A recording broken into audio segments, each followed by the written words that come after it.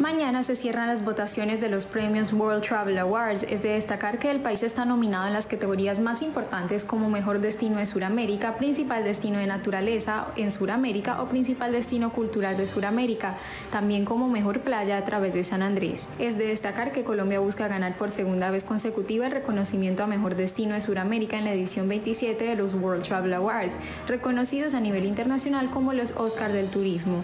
Para esta versión, el país y varias ciudades están nominados nominados en 14 categorías, compitiendo con países tan relevantes como Argentina, Brasil o Perú. Es de destacar también que este reconocimiento es importante ya que podría ser clave para la recuperación de la economía del país y sobre todo del archipiélago. La lista de nominados fue publicada el pasado 13 de julio, fecha en la que se abrieron las votaciones, las cuales cerrarán el 24 de septiembre. Entre los destinos colombianos nominados resaltan unos nuevos como San José del Guaviare, lugar que está en la categoría de principal destino turístico emergente de Sudamérica, o el Santuario de las Cejas en Piales Nariño, el cual está nominado como principal atracción turística de Sudamérica y destino de playa líder en Sudamérica, que se encuentra San Andrés.